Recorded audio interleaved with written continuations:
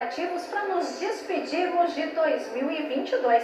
Mas antes de dar tchau, vamos agradecer aos 364 dias que aprendemos mais. Hoje é o último dia, o de número 365, que não acabou. Então vamos juntos passar as últimas horas olhando a nossa capital num ângulo diferente, esperando 2023? Bora lá olhar Curitiba por um ângulo diferente, agora com o Plug.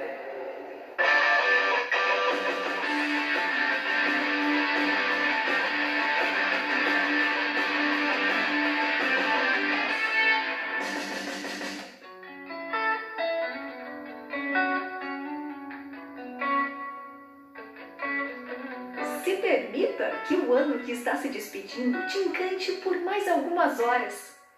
Cada minuto de vida é precioso e não volta mais. Contemple e se coloque à disposição do novo.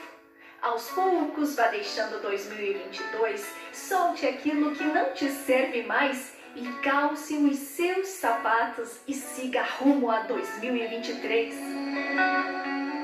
Já parou para pensar no número de pessoas que cruzaram o nosso caminho esse ano e que talvez nunca mais a gente volte a se reencontrar?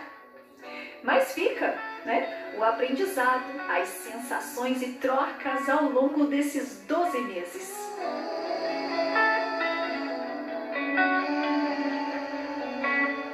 Nessas últimas horas, finalzinho de 2022, Vamos experimentar olhar lugares turísticos da nossa capital por um ângulo diferente.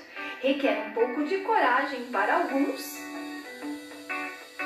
é curioso para outros e no final é um baita presente.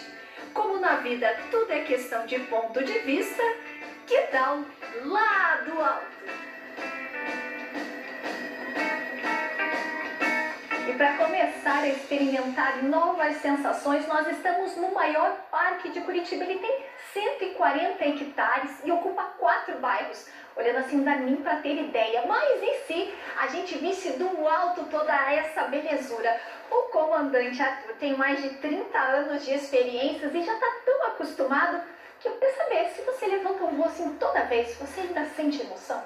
Com certeza, a, a, essa emoção é no sentido de a gente ver a cidade de cima, ver os parques de cima, que não tem igual, e realmente faz a diferença para todas as pessoas né, que não fazem ideia do que, que é um sobrevoo de helicóptero sobre a cidade. E a gente mesmo tem uma emoção, todo voo é diferente, o tempo, a luz, a iluminação, é muito legal. Mas eu fico curiosa, como foi para você, eu sei que já tem 30 anos de carreira, a primeira vez que você levantou o voo? A primeira vez, quando a gente alça voo, é, você fica naquela expectativa de será que eu vou conseguir, será que um dia eu vou voar sozinho, né? eu vou comandar uma aeronave.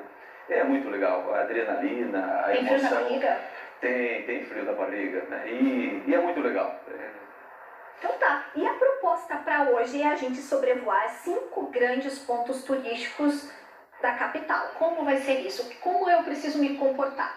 Primeira, primeiro lugar, a, a aviação, o helicóptero, ele é muito seguro. As pessoas podem vir aqui, a empresa tem um programa de segurança muito legal e que faz com que os passageiros se sintam muito confortáveis e seguros. Ninguém precisa ter medo. A emoção vai ser a emoção de fazer uma coisa nova, mas não vai ter emoção de ter medo, de voar, e isso é muito importante.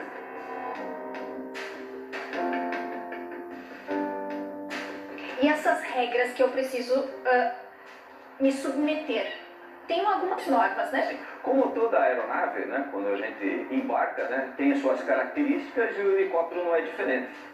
Uma das coisas é o rotor. Né? É, o rotor de cauda do helicóptero, ele quando está funcionando, ele fica praticamente invisível ao olho humano. Então é muito perigoso e a gente recomenda que as pessoas sempre se aproximem pela frente da aeronave e sempre a comando da equipe que está aqui para fazer o embarque e desembarque da, da, dos passageiros. Fora isso, não tem nenhum segredo? Não, é sempre com o cinto de segurança, né? sempre qualquer indisposição avisa o comandante da aeronave ou alguém que estiver próximo, né? mas O voo é muito legal, não vai ter indisposição, a emoção vai ser de ver a cidade em cima. Os nossos passeios uh, no Parque Barigui uh, funcionam com. Os voos acontecem com no mínimo três passageiros, uh, em horários comerciais, nos sábados e domingos. Os passeios panorâmicos no Parque Barigui acontecem então no estacionamento da BR 277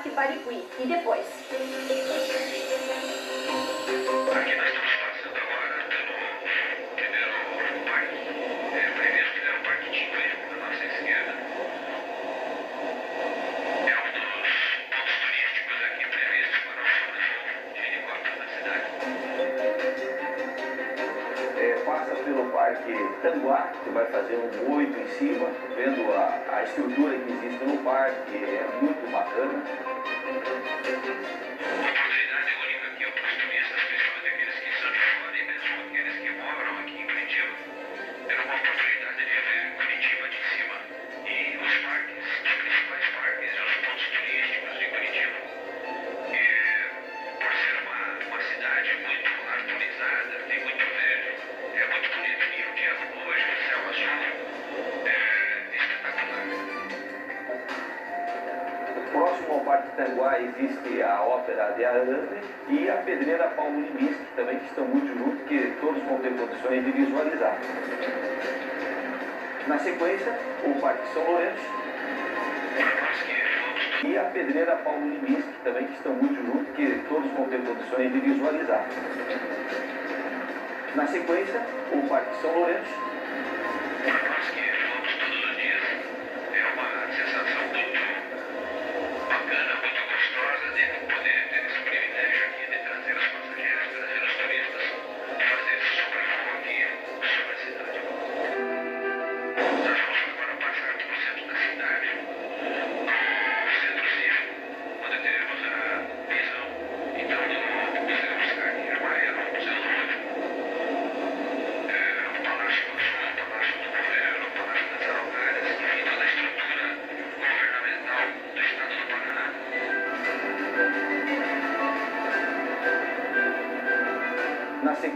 o antigo prédio da então Telepar, o centro da cidade.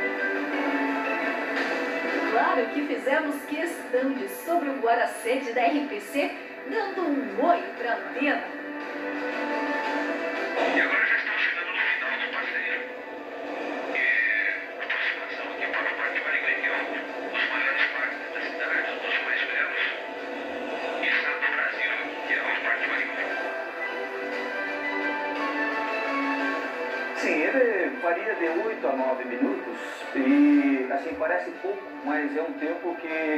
Quem está voando é uma eternidade. E é muito legal, a emoção é muito grande, dá para ver tudo.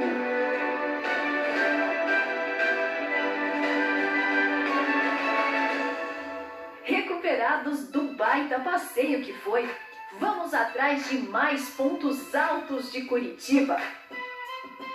A capital Curitiba é mágica. Aqui é possível você subir num prédio equivalente aos 40 andares para apreciar uma vista incrível da cidade. Aí você chega, é só uma vista com um monte de prédio, mas o diferencial está aqui, ó, em você encontrar uma pessoa que conheça a cidade e diga pra gente, não é só uma vista com prédios, é isso? Não, é muito mais do que uma vista. Você vai ver todo o planejamento urbano da cidade, você vai ver os atrativos turísticos que estão pro lado de cá, Serra do Mar, aqui para trás, Colombo, Capa Devoniana, o litoral. Então você tem a visão geral da cidade. E quando você é um turista, a primeira coisa que você faz quando chega numa cidade é procurar ou uma pessoa conhecida que te ajude a conhecer a cidade, ou você vai aonde? No lugar mais alto, para você ver a vista. A torre panorâmica é a mais alta torre aberta à visitação. Aqui a gente está a quase 105 metros de altura, né? tem um diâmetro de 22 metros aqui, cabem 60 e poucas pessoas ao mesmo tempo. Né?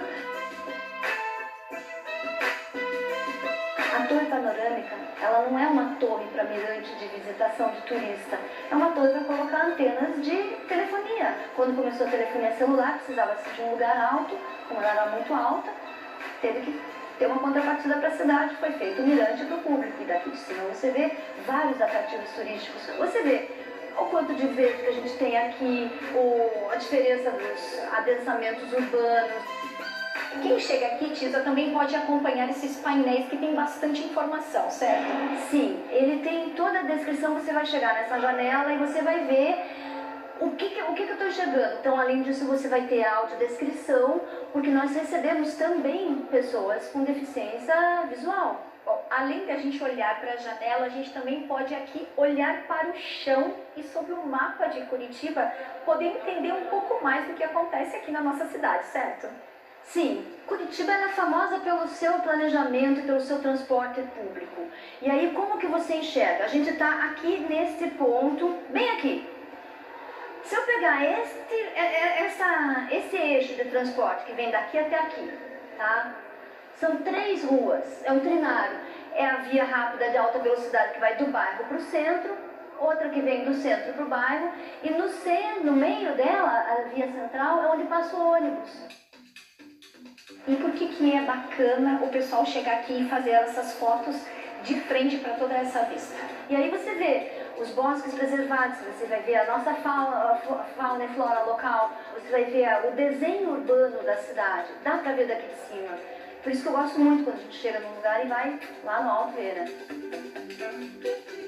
A Tia é super falante, a gente vai girando. Aqui é uma vista de 360 graus. Tia, você vai contando essas histórias porque não é só avistar esses pontos turísticos da cidade. Tem uma vista incrível, mas é legal também poder conhecer e enriquecer a nossa história de vida.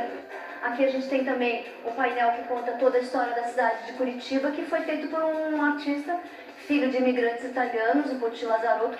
Aqui a gente tem toda a história da fundação de Curitiba, com os índios, com o pinhão. Aí você começa toda a, a fundação da cidade começou com os garimpeiros, o ouro de aluvião, aí veio todo o caminho dos tropeiros, o caminho de Viamão. E o Boti representa todo mundo aqui, toda a riqueza da erva mate. Isso aqui é uma folha de erva mate, na visão dele, né?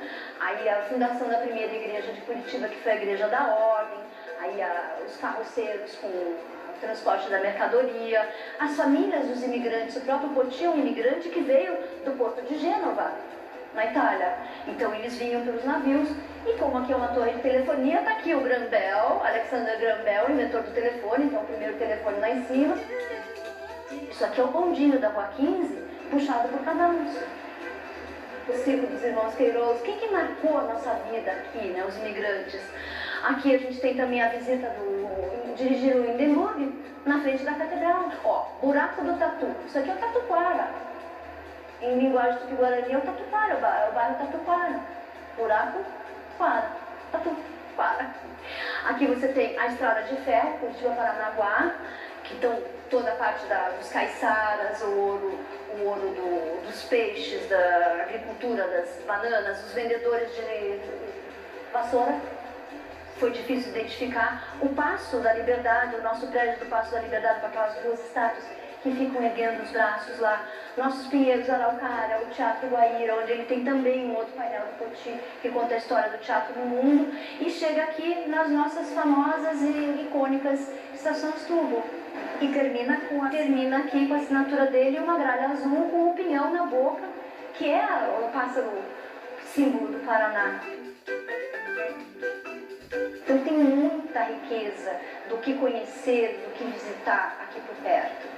E tudo isso que ela está falando, ela conseguiu pontuar do alto da famosa Torre das Mercês, a torre antiga da Telepar, torre panorâmica. Então é um presente a gente do alto poder observar a imensa riqueza que a gente pode simplesmente usufruir.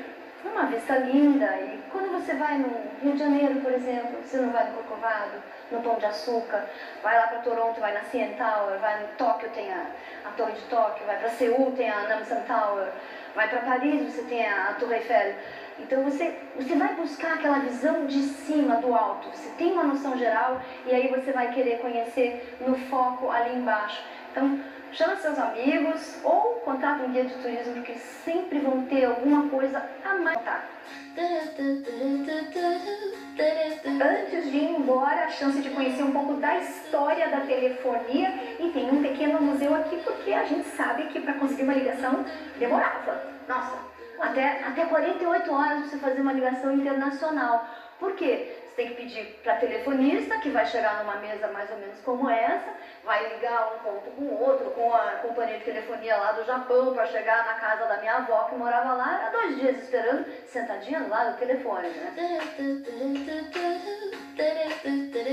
E quem tinha a chance de usar uma linha telefônica era quem tinha poder aquisitivo exatamente quem era, quem era rico, quem tinha carro, quem tinha um telefone. E aqui vocês vão ter vários tipos de telefones antigos, com disco, sem disco, com manivela e até lista telefônica, que era uma profissão que não existe mais, que é do vendedor de anúncio de lista telefônica.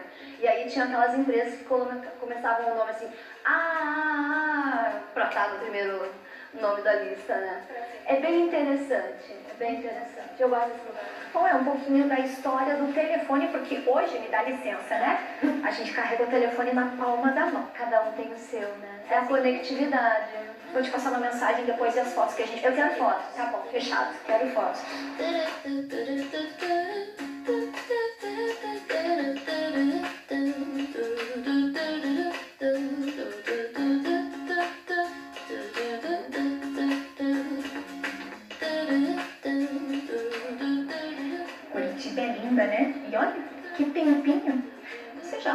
Mas não custa lembrar. Faz sol, chuva, vento, frio, tudo no mesmo dia. Mas isso não é desculpa, porque nós estamos aqui numa cobertura, numa confeitaria e restaurante que promete fazer você comer pontos turísticos da cidade. Eu falei certo, Marcelo? Comer pontos turísticos da nossa capital? Temos, a gente fez algumas brincadeiras com nossos doces que você vai encontrar um ponto turístico, mas também não é só isso. A gente acaba tendo é, um cardápio que ele é, homenageia as etnias. E é isso que os turistas vêm buscar aqui, é esse, essa vista junto com essa gastronomia. É, a gente abre todos os dias aqui, segunda a sábado, a partir do meio-dia, então você pode vir aqui ao meio-dia, sentar com calma, relaxar, nossos garçons passam por treinamentos para ensinar, então você consegue ver toda a região metropolitana da cidade. No jantar, por exemplo, se tiver uma chuva como essa, você vai estar tá tendo aquele jogo de luzes, assim, o charme da cidade. Então você, no jantar acaba tendo aquele parte do turismo, o pessoal que vem ver, e o romantismo, assim, de casais, assim, pedidos de casamento a gente já teve pelo menos aí uns dois ou 2.500 aí ao longo dos 10 anos aí que a gente está completando, né? A gente também tem esses doces turísticos, que assim, são parques, são objetos como a floreira da Rua 15. Então realmente a gente foi fazendo alguns trabalhos brincando com doces típicos, mas com uma apresentação bem legal. A gente segue sempre uma linha, é, não é tentar inovar na questão de sabores, você não vai estar procurando nada fora do comum, né? São todas sobremesas clássicas, então a gente tem, vamos dizer, o nosso bombom de morango, uma torta três leites ou quatro leites, que é muito típica do Chile ou do Mato Grosso. Aqui um bolo Red Velvet que representa o ônibus vermelho da cidade. E aqui uma cocada, é, uma cocada cremosa com ovos moles. Que bela desculpa. Você viu quanto tempo a gente já está sentado perto dessas coisas gostosas, deliciosas? A gente não sabe se é por causa da vista ou porque realmente é de comer primeiramente com os olhos a gente deixa a, a critério de cada cliente, né? Cada um usa a sua desculpa. Se vem aqui pela vista, é isso, aí consequentemente precisou pegar um docinho, ou aqueles que já gostam, mas são mais formigas e vêm atrás do doce e falam, ah, aproveitei e vi a vista. Pode ser os dois? Pode, cada um escolhe como que é. E quando se fala em lugares altos hoje, já pensamos em torres ou prédios mas antigamente esse posto sempre se reservava para as igrejas, que já ficavam em regiões altas da cidade, com suas torres em posições privilegiadas. Bastante conhecida na capital, a Igreja Nossa Senhora das Mercês, mais conhecida como a Igreja dos Capuchinhos, também tem uma vista incrível do alto.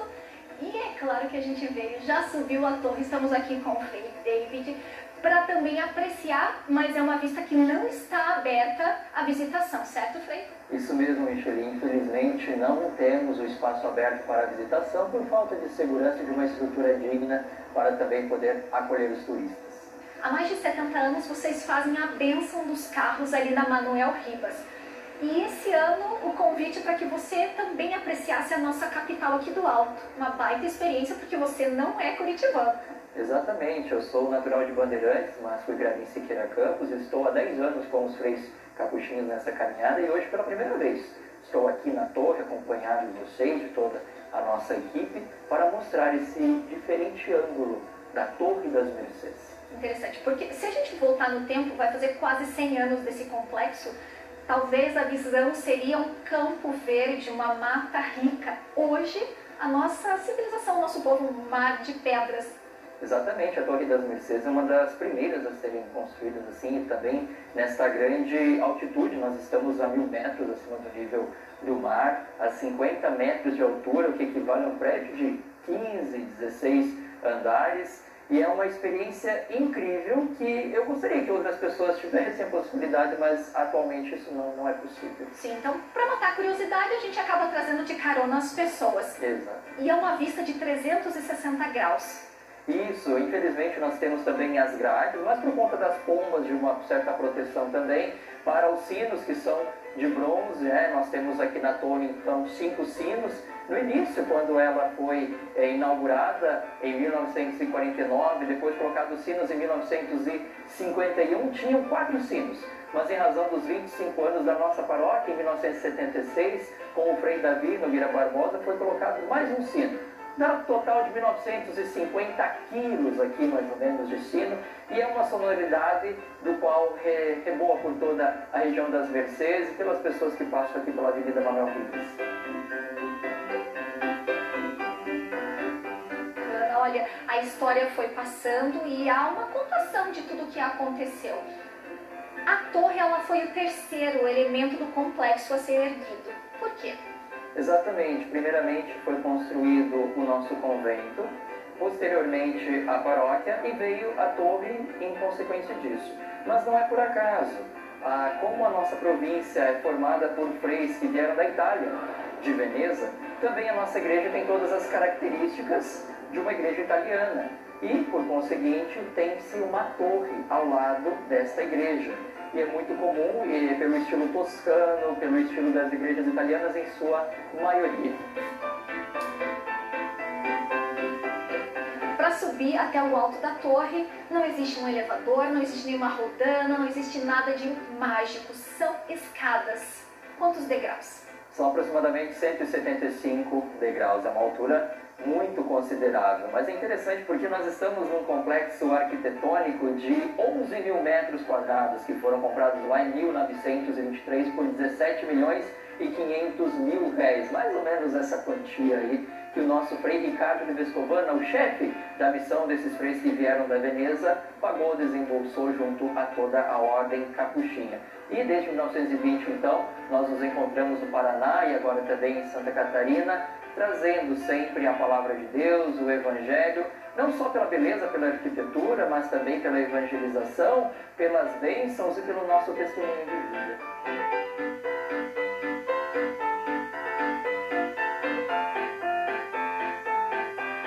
Excelente ver Curitiba do alto, porque nos dá a possibilidade de vermos a nossa vida com outras dimensões, com outros ângulos. Facilmente nós ficamos nas dificuldades, nos obstáculos e esquecemos que a vida é feita de um grande mosaico. Nós encerramos os nossos olhos sempre nas partes quebradas ou que necessitam ser ajustadas e perdemos a oportunidade de ver as qualidades e também os desafios que nós podemos propor a nós mesmos para o nosso crescimento. Então, para este novo ano, que com a ajuda do nosso Deus, do Espírito Santo que está em nós, dessa força divina, possamos erguer a cabeça e olhar a vida com outro ângulo, com uma outra visão, com fé, com esperança, com caridade, sempre no desejo de sermos melhores a cada dia. Hora de descer a escadaria. Enquanto isso, vamos para um intervalo rapidinho e na volta tem receitinha para o seu último dia do ano. Que tal uma cocada de forno? Nós voltamos rapidinho.